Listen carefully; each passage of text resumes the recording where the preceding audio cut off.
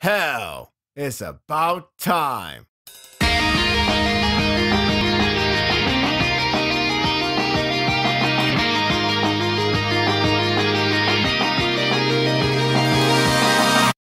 If this arc is going to be the final one of Red, you go with the finish the fight vibe.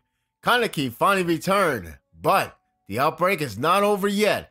It is becoming clear that the series is entering the last phase of the arc, in which Kaneki, now back on his feet, prepares to end this chaos.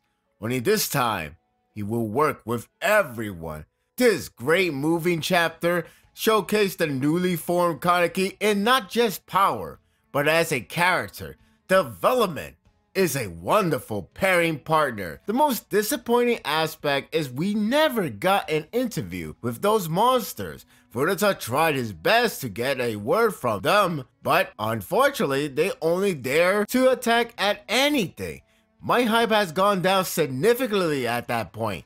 Okay, joking aside, Furuta is doing an amazing job on reporting the breaking news. I need that channel right now. The JFDF arrives and fires at them while Furuta is commentating the event like hype man. The problem is, he knows what they're in for. We are still isolated from knowing the whole picture behind Dragon, though he does explain how people are transforming into ghoul. It's done like a poison spore, and it comes from Dragon whether you kill it or just explodes like with Saiko. Basically, it's a lose-lose situation, according to him, because if you kill it, you'll be infected. If you don't, it will just consume you for resources. Sniper would be nice for this case, but I think since they are everywhere and with limited resources, it wouldn't matter much anyway. Furuta is such a bastard in every sense. He plays off like a commentator for the kids to never give up on humanity. At least he let everyone knows that their fight is far from over, so thanks? He clearly doesn't give a shit about anything but what he just obtained. I do have a bad feeling about the fact it is tape recorded that they all just watch. Where the hell is he now? While nothing has explained our reason or the main agenda behind Dragon with V, it's another run for everyone to take on Dragon, but with the double side of negative effect. How can they? I assume it would mean they would have just keep repeating the same formula of destroying Dragon, but that could take a long, long time. By that point, everyone would be a ghoul. I believe what happens later here could give them an easier method. One of the more unsettling moments from this chapter is how it's just back and forth with Furuta explaining the ghoulification and Saiko looking sick. When I saw those panels reflecting each other, I was getting nervous on what was about to happen. I was rambling on saying, don't do it Ishida, don't you freaking dare do it. After the video stopped, Saiko's eye becomes a Kagune, and being reminded of Shirazu's sister pained me severely. What is wrong with this man hurting innocent angels? Another unsettling yet pretty tense moment is when those monsters surrounded Urie and Kaneki with a handicapped Saiko. Could you imagine if we skipped the development phase of these characters? Let me tell you, they would have never reacted that way they did here. Urie was going to go down with the ship to help Kaneki to escape with Saiko.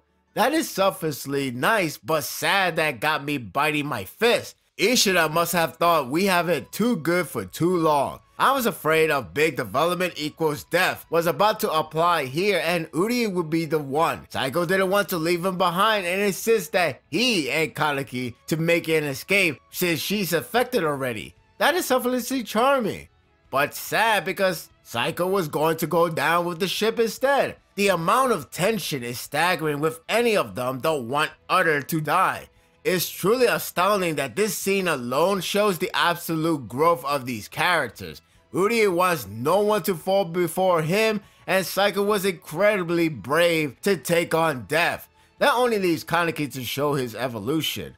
He certainly shows it. Part of me thought he would insist to go down, even if he can't fight, since he might lose control once more. The funny thing is, it probably would have happened if Kaneki decided to regress. His thought process is very much needed here to tell us his current state of mind. It's sort of play a mind game, no pun intended, to make you believe that his character is still in the same loop, which would probably upset the fans. Fortunately, he lets his friends come to his mindset and it's not for his sake, rather for others, as it should be. I was getting hyped up when he finally fisted and shouts out that he is tired of unable to do anything. That double page spread was outstanding. It's no surprise that this chapter's artwork is among Ishida's better form. And what timing then to exploit Kaneki's newly formed Kagune. I just love the distorted effects surrounding the pages to bring the extra flair. I don't think he has a new Kagune entirely, I see it as more of a Rinkaku in his maximum form. I could sort of back it up with the later explanation. Those wings look outstanding, reminisce closely to dragon beings. Kaneki obliterates all of those monsters in an instant, which tells me we are looking at a perfected ghoul. I like how Ishida emphasized the deformed hand since Kaneki had that for far too long. After the damage was done, his hand is finally fixed to the normal form. No words needed to be said. He's no doubt cured in more ways than one. Interesting that the chapter title appears once Kaneki is shown to be the title one. Smooth move there. Even though the Q Squad already has Kagune in their system, they can't be effective with ROS, which is why Saiko's left eye mutated. You just couldn't let her rest, can you, Ishida? In other words, the poison spore is dangerous to anyone. Urie could have been easily killed if he actually stayed behind and exposed his Kagune to the spore. It's a shame the cycle was already affected before, but at the very least it hasn't gotten worse than you know who. I don't want her to think about it. I will forever say this, but Saiko doesn't belong in this series with her lovable care for her friends. Yes, I do mean it in a good way if you can fathom that thought. Even in the midst of dealing with this disturbing disease, she puts her friends first over her own. I would shoot tears to the air if I could when Saiko wonders if Maman could end up like her. Talk about hitting the emotion hard. The most interesting element is Kaneki is actually immune to the poison spore. When he gets in contact, his count rate changes virtually nothing. He can shower them for a while and he will be fine. Okay, maybe that is too much, but the point is, he can't withstand the disease. In other words, Kaneki is the best person to go against Dragon. Lucky for them, they save him first before going against others because Kaneki is a good guy and he's the only guy they got. It does make me wonder if that's the case for Rize as well. On the bright side, from the moment on, the atmosphere begins to turn into a rising sun sensation. In other words, time for the hero to strike back. That small scene with Kaneki giving a head rub to Saiko to say everything will be alright is so charming. Saiko's smile adds so much to the moment it gets me teary to see a sweet relationship like this. I will vouch for a slice of life series with this cast. It was at this point that you can already sense that Kaneki wants to meet Hide for not just for a reunion, but to finally let go of his burden. It makes sense on why he went outside first and just so happened to see his loved one being protected and lovable. Those are his motivations. Leave it to Touka to tell him the way to meet his old best friend, the one who she once vowed to kill if the secret was out. Time has truly changed. Add in with another gentle scene between Kaneki and Touka, reunited and living through hardship. This pairing is as magnificent as ever. Speaking of reunion, we finally got the long-awaited reunion with Hide and Kaneki, what amazes me is how casual they talk to each other like nothing bad has happened for either of them. To me, that speaks true friendship. They have gone through hell and back, but nothing has changed their interaction. That's incredible. It does get serious when Kaneki gets onto the other reason of seeing him facing his past action. I don't know how or why, but I didn't think about this before. Hide is a perfect candidate for Kaneki to face his fear. If he can't accept his action that he has done to his beloved best friend, he is ready to face the world. That's a powerful way to reveal Hide's face, to be a symbol of many things. Hide Lord's face looks really bad. Not only is his lower skin ripped apart, but so as his left teeth and gum. What's even worse is that it doesn't end at the left side of the face region. It goes further down to the neck and the arm. I think this is Ishida's way of saying we have seen enough. with his other spots remain covered.